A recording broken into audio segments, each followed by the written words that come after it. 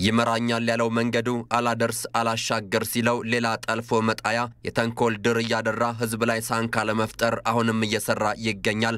አሸባሪው ህወሓት ዓለምን ጭምር ለማደናገር ያዘጋጀው ስትራቴጂያዊ ሰነዱ ቀውሱ በራሱ አናት ላይ መልሶ እንደሚጮህ በውል ያልተገነዘበው ይኸው ቡድን መግለጫ ላይ መግለጫ እያወጣ ነገርን ገልብጦ ዛሬም ጩኸቴን ቀሙኝ እንዳለ ነው ሲሉ ሰምታ ዶሮ አይነት ጨዋታ ውስጥ የገባው ህወሓት ራሱ ገርፎ ራሱ የሚጮህባቸው የማወናበጃ መንገዶቹ ከሌላው አካል ቀርቶ ከራሱ ጋር ወደ እርቅ የሚወስዱት አይደሉም። ለሰላም የቆምን በማስመሰል የዓለም አቀፉን ማህበረሰብ ድጋፍ አለማጣት፣ ለሰላም ከቀረበልን የግብዣ አጀንዳ ሳንርቅ በተለያዩ ጉዳዮችና ማዕዘናት ሰላም ማሳጣት የሚል ጸረ ህዝብ ስትራቴጂ የነደፈው ህወሓት በሱ እምነት አንድ ወገን ለሰላም ጠረጴዛ ዙሪያ መቅረብ ያለበት ሀገር ስትፈርስ ሳይሆን የስልጣን ወንበሩ ሊነቃነቅ ሲል ነው። ለዚህ ደግሞ ያለ ረፍት ያለ እፍረት የሚያደርጋቸው ንግግሮቹ ያሳብቁበታል።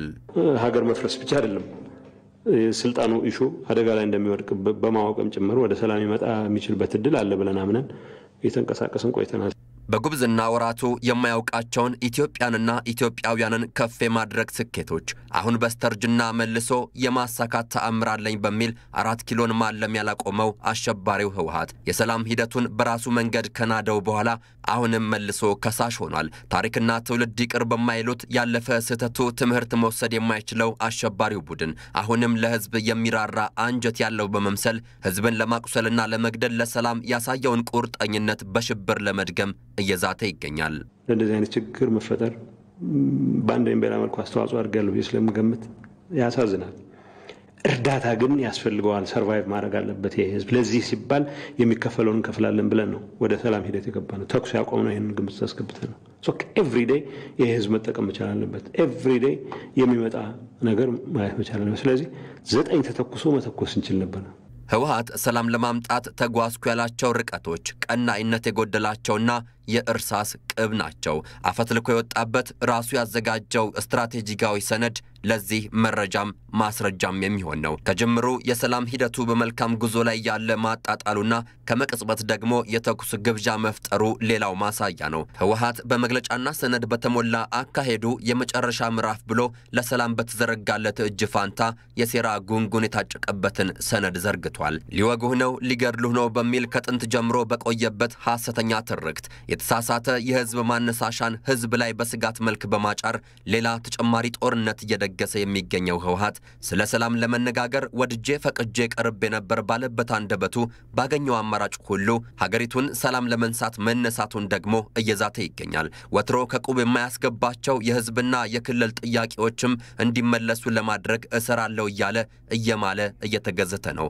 ዓለም አቀፍና ሀገራዊ ጥቅል የኑሮ ውድነት ችግሮች ላይ የጥፋት ቤንዚን በማርከፍከፍ ሀገር እንዳትረጋጋ ለማድረግ እንዳቀደም በወረቀት ያሰፈረው ድርጊት ቀረሽ ሀሳቡ አመላክቷል። ይህ ቡድን ነው ከግጭት ጠማቂነት ወደ ሰላም ጠባቂና ጠያቂነት መጥቼ አልተሳካልኝም ያለው። ይህ ቡድን ነው የህዝቦች መብትና ደህንነት አምባሳደር ሆኜ በቃታ ሳይሆን በቃል ወይም በሀሳብ የበላይነት የሚያምን ስርዓት ገነባ ነበር እያለ ያዞንባ የሚያነባው ደግሞ በሌላ በኩል በተቀረው ግማሽ ምላሱ የጥፋት መንፈስ አባቶቹን ስፖንሰርነት ተማምኖ ለውጊያ መሰናዳቱን ይዝታል። እንዋጋቸዋለን። የጀመሩትን ጥቃት አክሽፈናል። የገቡበት ቦታ ሁሉ ገብተን ለትግራይ ስጋት የማይሆንበት ሁኔታ እንፈጥራለን። በዚህ ጉዳይ ላይ ቆይታ እናደርጋለን። ተጨማሪ መረጃ እንዲሰጡን ደግሞ የትግራይ ዲሞክራሲያዊ ፓርቲ አባል አቶ ዮሐንስ ጎይቶምን እዚህ ስቱዲዮ ድረስ ጋብዘናል። ከእሳቸው ጋር ቆይታ አደርጋለሁ። በጣም አመሰግናለሁ አቶ ዮሐንስ እዚህ ድረስ በምሽት ስለመጡልን። አመሰግናለሁ። መልካም እንግዲህ ቀደም ሲል የወጣ የመጨረሻው ምዕራፍ የሚል ሰነድ ህወሓት አውጥቷል። ከዚህ በፊት የሚያወጣቸው ማኒፌስቶች ነበሩ 68ን መጥቀስ ይቻላል። የህወሓት ቡድን በዚህ በቀድሞ እሳቤ አሁንም ባወጣው ሰነድም ሰላም ጠል መሆኑን ነው ያሳየበትና ይሄ ከምን የመነጨ ነው? ምንድን ነው መነሻው ማለት እንችላለን? አመሰግናለሁ። በመሰረቱ የአሸባሪውን ህወሓት የቆየ ታሪክ ያየ እንደሆነ ማንኛውም የሀሳብ ልዩነት በሰላም የፈታበት አጋጣሚ የለም። ከመጀመሪያም ጀምሮ የሚያጋጥመውን የሀሳብ ልዩነት ከተቻለ ጉልበት ካለው በኃይል መድፈቅ ማስወገድ፣ ጉልበት ከሌለው ደግሞ ጊዜ መግዛት ጊዜ ገዝቶ ደግሞ በተመሳሳይ ሁኔታ ያለውን የሀሳብ ልዩነት አንድ ዴሞክራት በሆነ መንገድ ሽብርተኝነትን በሚገልጽ መንገድ ከዚህ አልፎም ፋሽስትነት ራሱ ሊያሳይ በሚችል መልኩ ልዩነቶችን እያስወገደ እየደፈቀ ብዙዎች በዚህ ምክንያት የማህበራዊና ኢኮኖሚያዊ ተጎጂዎች እንዲሆኑ ከዚህ አልፎ ተርፎም ብዙዎቹ ለእስር፣ ለእንግልት፣ ለሞት፣ ለእልቂት የተዳረጉበት ነው። ስለዚህ ይህ አሁን ያለው የአሸባሪ ህወሀት አካሄድ ከመጀመሪያም ጀምሮ የመጣበት ታሪክ ስለሆነ ብዙም አዲስ ነገር የለውም። ካመጣጡ በትጥቅ ትግል የመጣ ስለሆነ በፊት ራሱ እዛ ትግራይ ውስጥ ከኢህአፓ ጋር ኢዲዩ ጋር ከፍተኛ ደማዊ ከፍተኛ ደም የፈሰሰበት ጦርነት ሲያካሄድ የነበረ ነው። ይህ በኃይል ልዩነትን የመድፈቅ ባህሪ ውስጡም ይታያል። ውስጡም የሚነሱ ማንኛውም ጥያቄዎች በ character assassination ስም በማጥፋት በማግለል በማጥቃት ብዙ ሰዎች እስከ ህይወት ድረስ ዋጋ የከፈሉበት ሁኔታዎች ታይተዋል። ስለዚህ በመሰረቱ TPLF ማለት አሸባሪም ነው።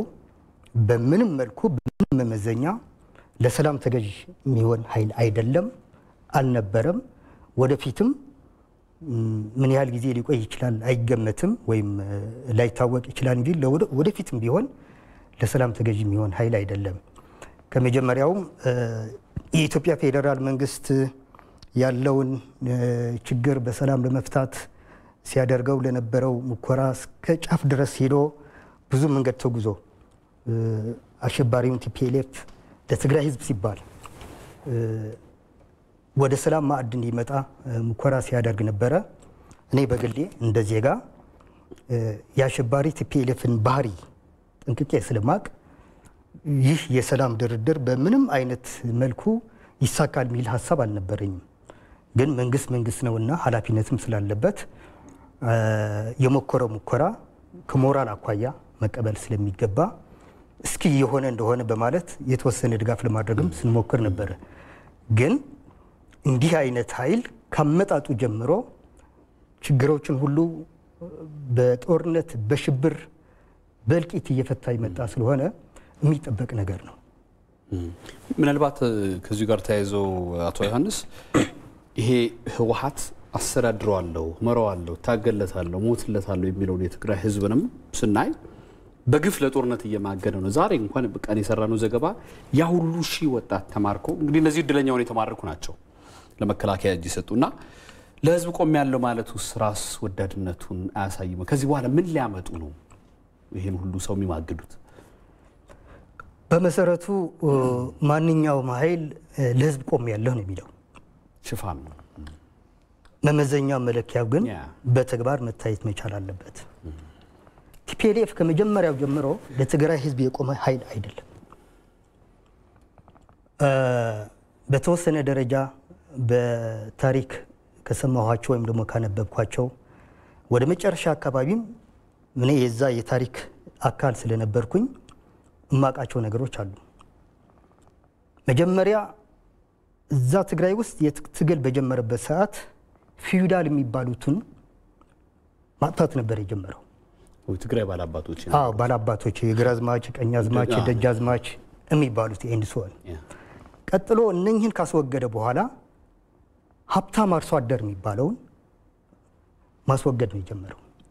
እንግዲህ በ TPLF አመዛዘን ያኔ ሀብታም አርሶ አደር ማለት ወይም ደግሞ ሀብታም ገበሬ ማለት ሁለት ጥማድ በሬ ያለው ነው። ከዚህ ውጭ ምንም ነገር የለውም። ከዚያ ቀጥሎ መካከለኛ ገበሬ ብሎ ያስቀምጠዋል። አንድ ጥማድ በሬ ያለው።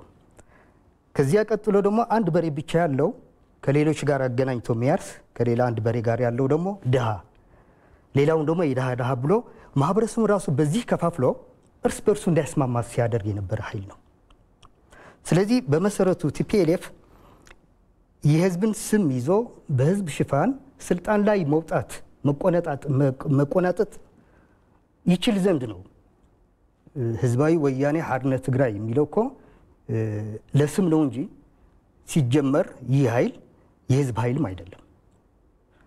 አንድ ኃይል አማራን ከጎዳ፣ ኦሮሞን ከጎዳ፣ ሌላውን ማህበረሰብ ከጎዳ የራሱንም ህዝብ ሊጎዳ ግድ ነው።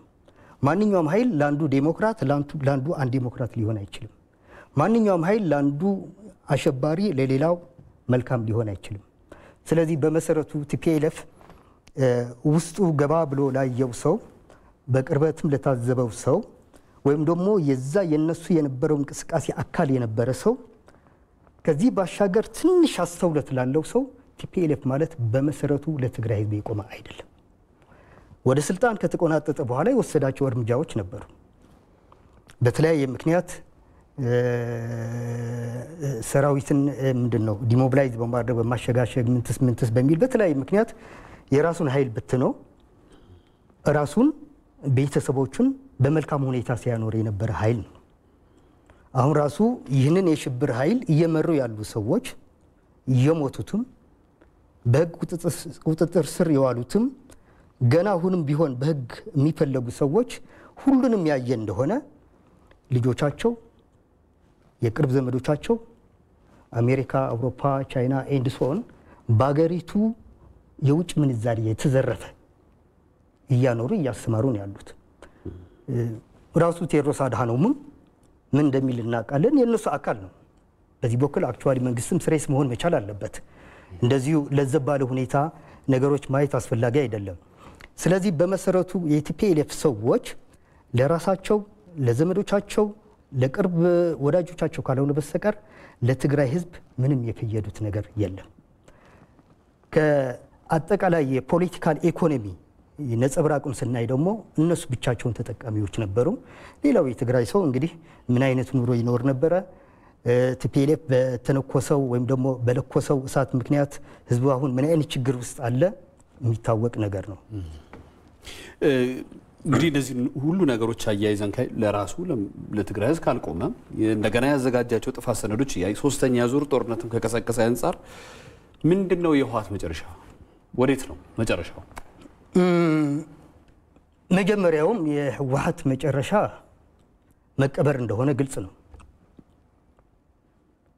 የሚያሳዝነው ነገር ግን ብቻውን አለመቀበሩ ነው።